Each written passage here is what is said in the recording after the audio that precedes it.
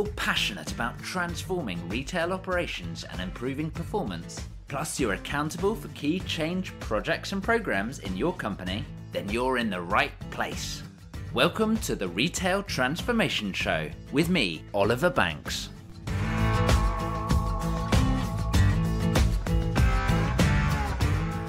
Well, hello there, and welcome to the Retail Transformation Show. I'm Oliver Banks, your host and your guide to successfully deliver retail transformation. Thanks for tuning in. This one is episode 109, number 109. One of the big trends that we have seen over the past few years in the retail marketplace is that of pop up stores. They've been particularly prevalent in the direct to consumer, the DTC brand markets, but we've seen some retailers do some great things as well. But of course, 2020 has put a little speed bump in the road of all things physical retail. But I think this trend is still going to continue to surge forward, particularly as we look into next year. So, to explore this in a lot more detail, I'm really excited to introduce you to the expert in pop up retail. She wrote the book on ephemeral retailing, and she is Ghalia Bustani, or should I say, Dr. Ghalia Boustani. She's based in Paris, in France, and she's a researcher and particularly focused on short term ephemeral retailing or pop ups. She completed her first study on pop up stores out in the Middle East, and now she's focused on Europe. Ghalia has been teaching marketing and fashion marketing and retail across several different universities and business schools since 2011. And she's also worked very closely with professionals and entrepreneurs and businesses on various projects to progress the research and, of course, the commercial viability as well. As I mentioned, she did write the book Ephemeral Retailing Pop Up Stores in a Postmodern Consumption Era. And she also hosts regular Instagram live chats, really to dive in deep with a whole variety of experts. So do check that out. I'm going to put the links on the show notes page today, which is obandco.uk slash 109. That's obandco.uk slash 109. Oh, and do stay tuned till the end of the episode for a special announcement. This conversation is a good one, but it's a little longer than normal, so let's jump straight on in. Here is Ghalia Boustani.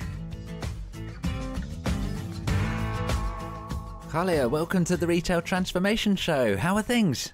Hi, Oliver. Well, things are very well, and I'm very glad I get to do this discussion with you on the Retail Transformation Show. I'm really excited too. I loved joining you for your Instagram live show. We had a great conversation there, so time to turn the tables and dive into your specialist subject pop up retailing. Yes, I'm very glad that we're doing this. And thank you for also joining me on the live show last time. And I'll be happy to elaborate everything I know about pop up stores. Awesome. Well, this is absolutely a, a really big topic right now. Coronavirus and uh, COVID aside, pop up has been one of the, the big trends that we've seen in the world of retail over the past few years. More and more companies, particularly the direct to consumer companies, have been getting into it. But let's just make sure that we're all on the same page. What do we mean by pop up retail? Well, let's go back to the initial types of commerce. I mean, the concept of temporality has been observed since the beginning of commerce. Peddlers, merchants traveled between different cities to barter, trade, or sell. I mean, you could also think of circuses, fairs, trades, or exhibitions that moved, settled, and then left to a new location. So retail is known in this mobile, transient, and short-lived forms that incite customers to visit and discover them, right? Mm. I mean, physical formats have set standards for so long in retail from specialty stores to department stores to shopping malls or concept stores or flagship stores. And online retailing has caused a major disturbance and slowly integrated online channels amongst other channels that a retail brand can adopt. Mm. And the survival of retail brands has been put to test in the past decade, and this is due to the recession and other environmental forces, and as you mentioned earlier, like the COVID situation. Mm. Therefore, alternative distributions and communications had to be prioritized. And pop up stores are an example. And to answer your question, Oliver, pop up stores are today at the crossroads of communications and distribution channels as they appear unannounced, they disappear, or morph into something new. Yeah. They could look like any other type of store format, except that they tend to be conceived with a theatrical, interactive, or immersive approach. They are short lived and appear in strategic locations, and they are very much related to seasonal events. And if I may add, uh, from a brand point of view, pop up stores are like great tools to test, experiment, sell, communicate, or increase visibility. And they could be also seen as media through which a story is told or a message is shared with a target audience. Mm. And they could be a strategic quick fix, if I may call it that way, that could be integrated in a brand's overall strategy. Mm. And maybe to, to conclude on that part, from a customer's perspective, pop up stores provide a lot of novelty. There are events that could not be missed, and there are opportunities to come closer to the brand I mean, this is a happening that a customer should go to and that will always excite him. Indeed. I really love that thought about actually using them for experimentation, as well as some of those more, I suppose, exciting elements that are bringing in events and theatrics, as you say. I think there's huge opportunities. It can be, really be quite a blank canvas, I think. Exactly. You mentioned that they're quite short term. What are we talking about in terms of short term? I suppose it could be anything from from a day, I suppose at least to to what? Yes, I mean even we're talking today about pop-up stores that uh, could go just for a couple of hours. Wow, getting quick. We, we can talk about that a bit later when we're when we're discussing like the characteristics of pop-up stores. But to answer that mm. question in particular, we could go from uh, a day to a couple of months. It really depends on the type of brand, whether it's a startup brand or a mature brand, or it could also be different between the types of luxury brands or uh, mass fashion brands or different industry levels. Because We'll be discussing this further down. Luxury brands could, for example, adopt pop up stores, but they would do that for at least a year or 18 months whereas other pop-up stores uh, could pop in for a week or maybe uh, a couple of weeks. So in average, mm. let's say that a pop-up store could last in between a week or two, which is the ideal average uh, timeline. Enough to build momentum and get people to talk and share about it, but not too much that it gets old and, and boring. Exactly. And we don't want uh, people to confuse that store with a physical store opening and uh, staying for so long on that location. Yes, yes, very good point. So, physical retail, you know, let's be honest, 2020 has not been a great year for physical retail.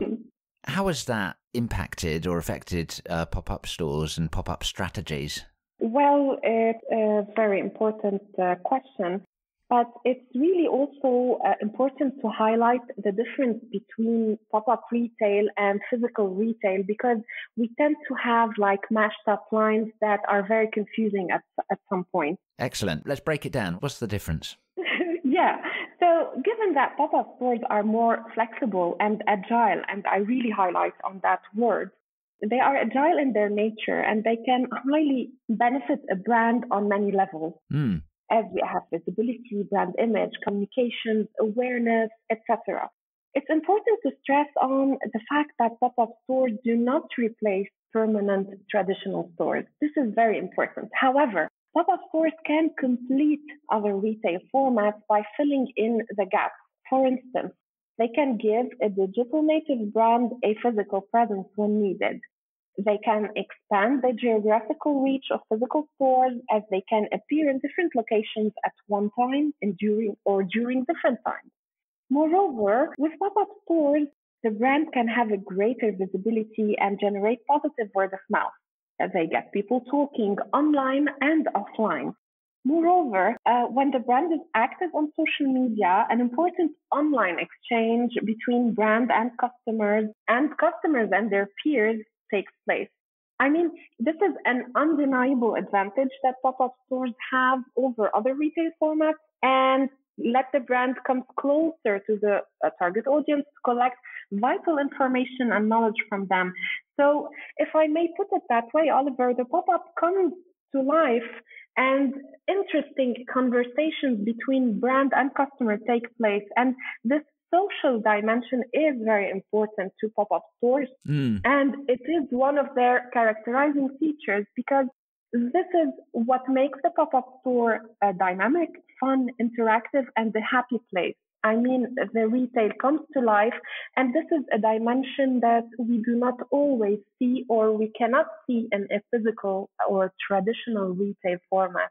Yeah, that's really interesting, and uh, you know, it's what I'm what I'm hearing because there are so many different elements for pop-up stores. It must be very important to really understand the objectives, the aims, the goals for your particular pop-up, rather than just doing it because you can you know, you could do it in several different directions, right? Right. I mean, this is a very important thing as you highlighted it, Oliver, because pop-up stores in their nature are very exciting, but we cannot just jump in and do a pop-up store, especially if it does not fit into our brand strategy. Yeah. if it's not on brand and on topic and in line with with your values and your purpose, it could just seem very disjointed and actually potentially brand damaging, particularly if executed badly. Exactly. I mean, some brand managers could tell you, and here there's always this mashed up line between what could be done and what could mm. not be done. Sometimes we can say that with pop up stores, we can pop in to test something because customers tend to forgive and forget since this format is very short lived. Mm. However, we should avoid doing mistakes by popping in the wrong way. I mean, testing is one thing and just doing things haphazardly is another thing. We should really think of how a a pop-up store aligns with our brand strategy and objectives. And then if we wish to test a new concept under our brand strategy, we could do that. However, things should not look like uh, they are very alien uh, or uh, that disjoint, as you said, from our initial core or from our brand's essence. And this is really mm. So, bringing us back to thinking about how 2020 has been for, for pop up and what 2021 looks like as well. Mm-hmm. What are your thoughts? Uh, have we seen an uptake in pop up store usage or has it fallen away? Pop up stores have been picking up and they really picked up in the past uh, couple of years because retail needed a sense of novelty, innovation, and excitement. But we have to also be very clear that today pop-up stores pop up physically, and we cannot pop up physically if there are no people to come into our pop-up store.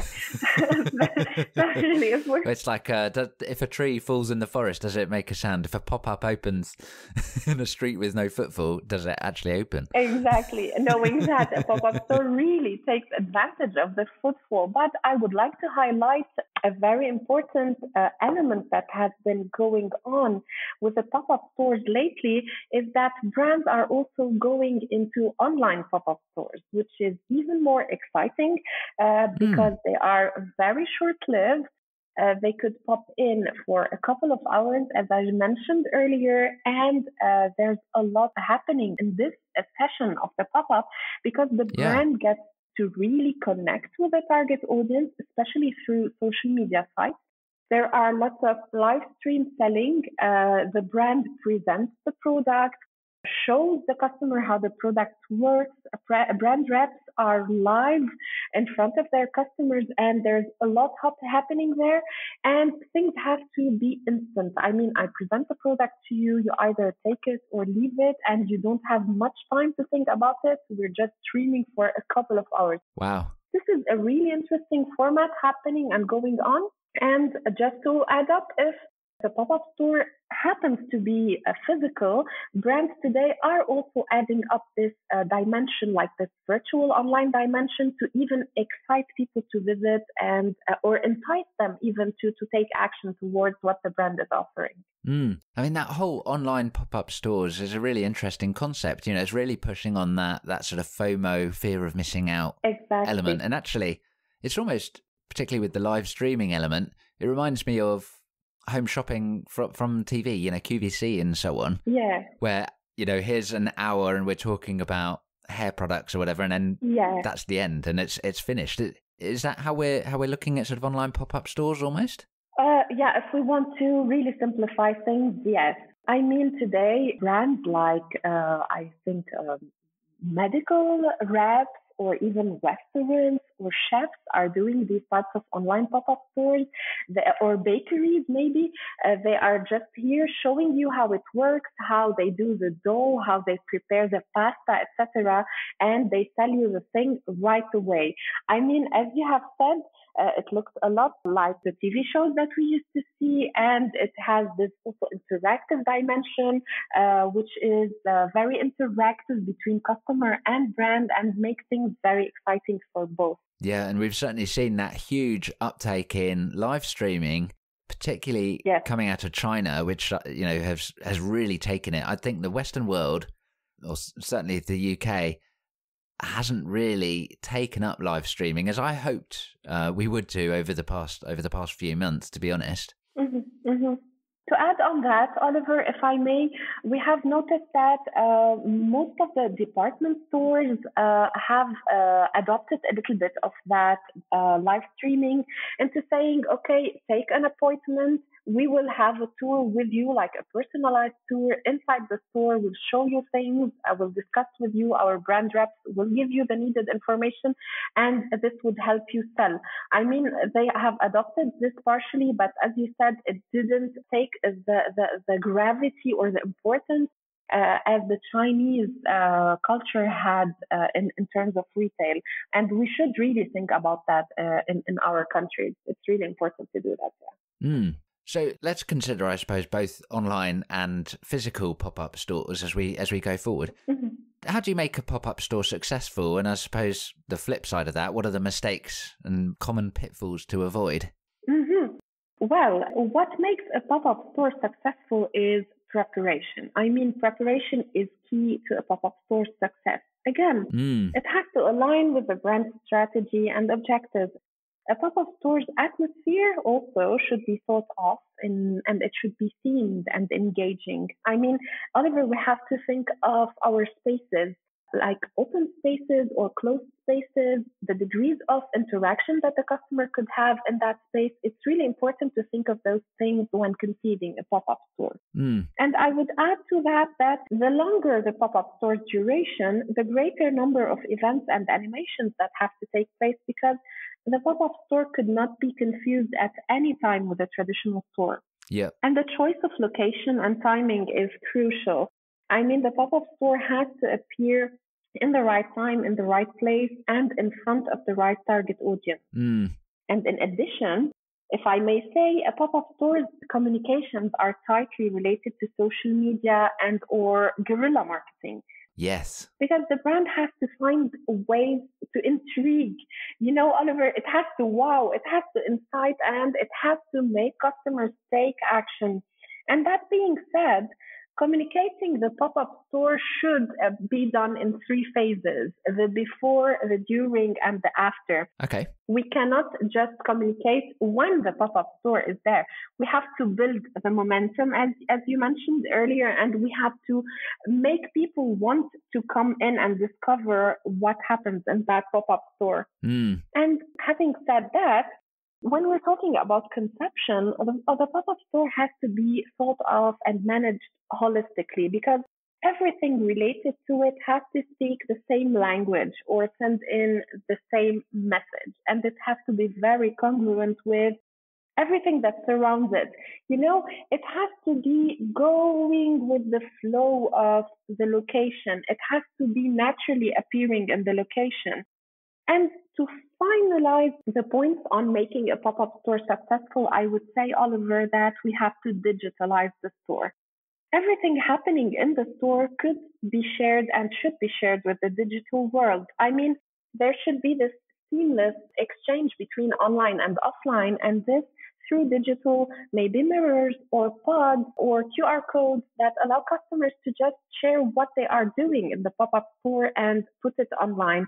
And this will build further the viral environment, the online environment, and get people sharing and talking further about the pop up store. I believe that these are key uh, elements to making a pop up store successful. Mm.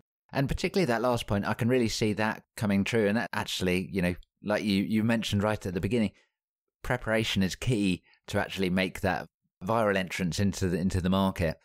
Who have you seen do a really great job of that viral element, the social social sharing, etc.? I can't think of a name on top of my mind, but I know most of the uh, sports brands and lots of sports brands who collaborate, who who have done collaborations uh, with like rappers, singers, etc., have really worked on uh, these uh, aspects. Mm. Most of the pop-up stores that I have visited this year and last year, for example, in Paris, who have like uh, online shopping websites uh, and physical stores, have also created like themed shops uh, or environments where we could go project ourselves in the setup. And then they gave us like QR codes that we could scan on a pod and directly go and buy the, uh, the item online and benefit from a promotional code.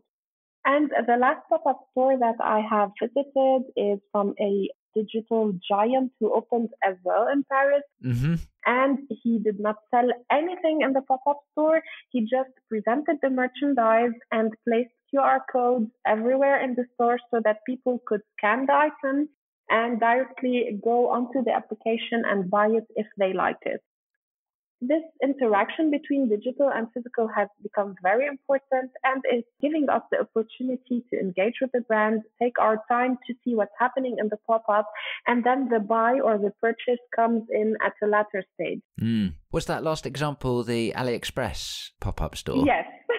yeah. yes, if we are calling names. yeah, no, we're okay to name names, particularly if people are doing a good job. Yeah. Happy to show the excellent examples of pop-up stores in the in the real market. Yes, I mean I have thought of uh, other examples that we would, uh, if you want, talk about later. Yeah, let's crack them open now. Let's hear some of the great examples you've got. Yes. Okay, I wanted to highlight a couple of examples and why I um, I particularly thought of them. I mean, I have been pretty fond of the Huda Beauty uh, pop-up stores that that popped in Covent Garden. I think somewhere last year mm-hmm. around December. The Magnum ice cream pop-up stores uh, in London or in Paris a French brand called Sézane that I'm particularly fond of in terms of uh, the, the theatrical aspect of pop-up store, mm. uh, the Cartier pop-up store, and Shiseido pop-up store. I mean, why I have particularly talked about these brands, it's because um, what had drawn my attention is their atmosphere and the degree of interaction and engagement with the customers, brand reps, and the brand. Mm. Moreover, the choice of location and whether the pop-up store was Instagrammable or not, and limited edition possibilities uh, and personalization possibilities. Mm. So, with these examples, Oliver, what, what I have been fond of is sometimes the pop-up store is very small in, in terms of format, and sometimes it's very big. So every time we go into that pop-up store, we get a different feel of discovering the store.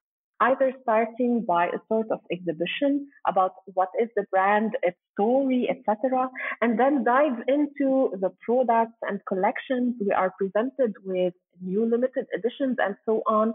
And finally, we could buy, purchase, or maybe pre-order and in other pop-up stores like the Cartier pop-up store, they were launching a new uh, perfume, and we got the chance, for example, to buy the new perfume and to personalize the bottle.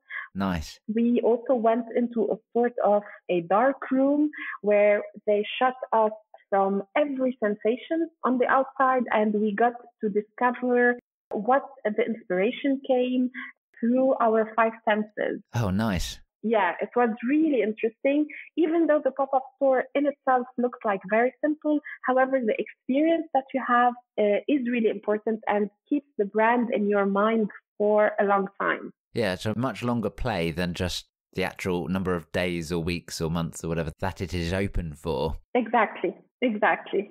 and so just just on that, what what's your thoughts very briefly? Should a pop-up be financially viable and profitable in its own right or is it actually more of a marketing spend that is about building brand awareness and brand loyalty and looking at that longer term relationship? What are your thoughts? Well, it's um, also I have taken really the time to study that aspect through my research. And I believe it's important uh, to mention here that financials of pop-up stores could have two different readings, and this uh, really relates to whether the brand is a matured brand or a startup brand. Mm. And I would like really to take the time to elaborate that point because we always have lots of discussions around it. I mean, in the case of, of mature brands, like I'll give an example, like uh, a luxury brand or Nike, Adidas, you name it, a mature brand that has always been on the market. So, depending on the brand's budget, you could add in marketing spend or a pop up store to include it into that budget. Mm. One should take into consideration the cost of atmospheric design, furniture, digital tools, the window. This is to, to list a few. And the cost of stock and in store communications. There are also the costs of daily operations, such as hiring temps or managing team members, software, hardware, Wi Fi communication, security, cleaning, and so on. The list is very long. Yeah. There are also the costs of hiring the space and as well as the permits, contracts, or projects like details related. I, I would name like a funny thing. Maybe you want to hire a valet service or do a night party. All of these have to be thought of and you have to take permits for them. Mm. To add on top of all of these costs, you have the cost of your communications or events or animations that take place in that pop up store, as we mentioned earlier. So, compared to the cost of conceiving a traditional store, Oliver, pop-up store might be less expensive, but still the bill could add up very quickly. Yeah. And on the other hand, in the case of less established brands or startup brands, there is a different perspective of calculating. I mean, a pop-up store could be a tendency for the brand to go and participate in especially with other brands like in multi-brand pop-up stores or collective pop-up stores. And this to share the cost uh, with other brands and to share the benefits of footfall from other brands. And this is a very different logic. Yeah, very good point. exactly. And you see, we are we are thinking of pop-up stores for startups in a different logic because we want to take opportunity of popping up and we want to take the opportunity of existing from time to time and getting in touch with our target audience or our potential target audience to sell merchandise and keep moving on. Mm. I mean, going back to your initial question, depending on your brand maturity and the reason of adopting pop-up store, the cost could be allocated to a marketing budget, but in other cases to distribution channel budget. Mm. And to conclude, I really want to highlight here that whenever we calculate a cost uh, and put on a project, we have to calculate the return. Yep. I mean, this is how, how we've always done it in marketing. But in the case of pop-up stores, I think it's worth looking at a new term that is being discussed, which is the return on experience instead of the return on the investment. And today we are thinking that pop-up stores are there not only to yield a direct uh, result for the brand. We're talking about more brand uh, longevity in terms of building up the brand and the brand experience mm. rather than just uh, seeing if the brand has sold a product or not during the pop-up. Yeah, I love that idea of return on experience. How do you how do you measure that though? I I have been doing some research lately to understand how it's being measured. There are still no clear metrics that I know of, but we're looking about uh, measuring the effects uh, of the brand, uh, the mentions, uh, the levels of the brand's talk on social media, online, offline. I mean, We're talking about measuring on different dimensions uh, how the brand is being talked of, rather uh, talked about, excuse me, rather than just selling in the pop-up store. Because as I mentioned earlier, most of the time brands do pop-up stores not only to sell or liquidate merchandise, they're doing like types of pop-up stores that are purely event-based. And what can we measure in an event, um, Oliver? We cannot really have lots of KPIs mm. to measure. Rather, we're looking at um, the dimension of communications or uh, sharing uh, the pop-up store to the, the degree to which the communications of that pop-up went viral, what people are talking, how they are talking, etc. Mm. So we're rather uh, analyzing that aspect. Yeah, that makes a lot of sense. Really interesting, and I'm sure we could go a whole lot deeper into that as a conversation. Yes.